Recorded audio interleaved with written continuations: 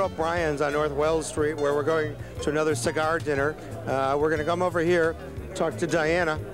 Diana, uh, tell us a little bit about a cigar dinner. What goes on at one of these? Well, this is a cigar cocktail party All right. O'Brien's Restaurant on Wells Street. And uh, we have everybody here enjoying the sampling of the different cigars. And when they come in, they, they give us um, their ticket. And then they get a bag of uh, goodies and a uh, drink ticket to turn in for O'Brien's to get a drink. Peter, tell us, uh, do you, you plan a special menu for this, your appetizers? Yes, we've got everything special. When you have when you have something with Diana, you have to have it special, or you shouldn't have it at all.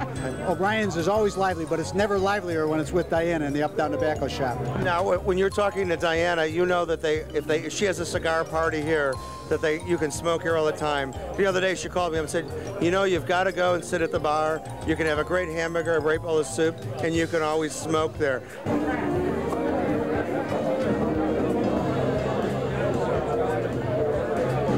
1995 is known as the year of the cigar.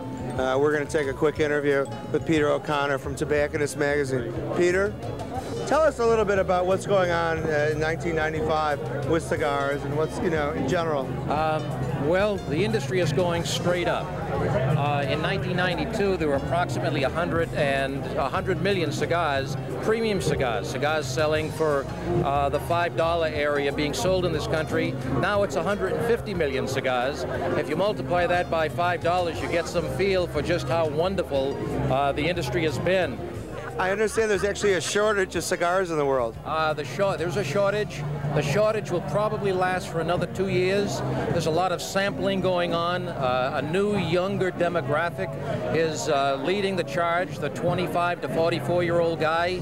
Uh, that's about 20 years younger than the historical demographic, and we think that they'll become the frequent users. Uh, the sampling will slow down, but we think the industry will continue to grow. What about restaurants going no smoking?